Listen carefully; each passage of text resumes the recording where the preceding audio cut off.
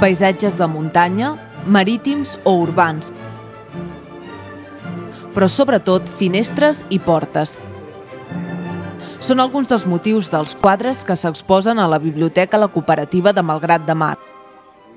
Temàtiques similars, però tècniques variades. Aquarela, pintura a l'oli, en total 29 obres que permeten observar la progressió de les seves autores.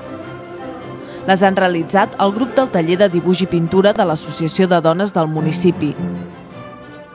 S'hi mostra el treball fet entre el passat mes de febrer i aquest juny.